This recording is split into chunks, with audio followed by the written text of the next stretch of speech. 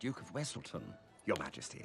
As your closest partner in trade, it seems only fitting that I offer you your first dance as queen. Jump.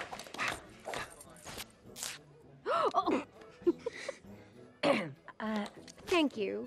Only I don't dance. Oh. But my sister does. oh. What? Lucky you. Oh, I don't think... if you swoon, let me know. I'll catch you. Sorry. Like an agile peacock.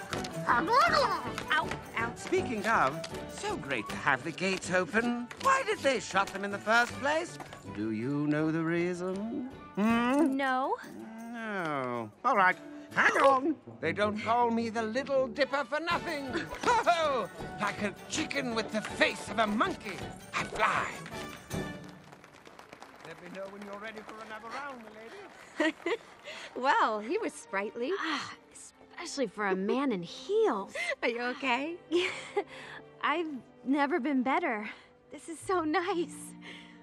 I wish it could be like this all the time. Me too. But it can't. Well, why not? I it mean, just we... can't.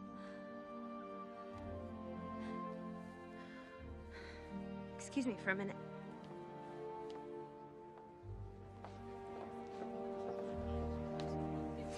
I'd be. Glad I caught you. Hans.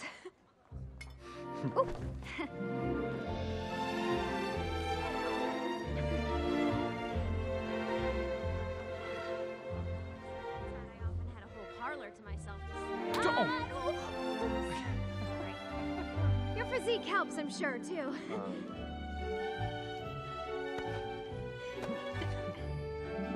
What's this?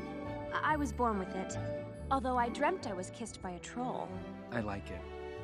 Yeah, the whole thing. Hmm. you got it. okay, wait, wait. So you have how many brothers? Twelve older brothers. Three of them pretended I was invisible. Literally. For two years. That's horrible. it's what brothers do. And sisters.